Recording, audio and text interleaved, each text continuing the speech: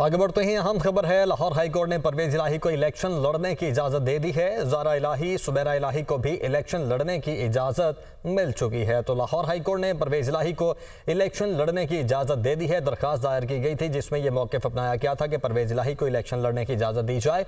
तो अब उन्हें यह इजाज़त मिल चुकी है, जबकि जारा इलाही और सुमेरा इलाही को भी इलेक्शन लड़ने की इजाज़त मिल चुकी है। अहम खबर है जो आप तक पहुँचा रहे हैं। लाहौर हाई कोर्ट ने परवेज इलाही को इलेक्शन लड़ने की इजाज़त दे दी है और परवेज इलाही के साथ साथ ज़रा इलाही, सुमेरा इलाही को भी इलेक्शन लड़ने की इजाज़त मिल गई है। इसी पर बात करेंगे। मोहम्मद अशफाक हमारे साथ मौजूद हैं। जी, मोहम्मद अशफाक आगा कीजिएगा इस बारे।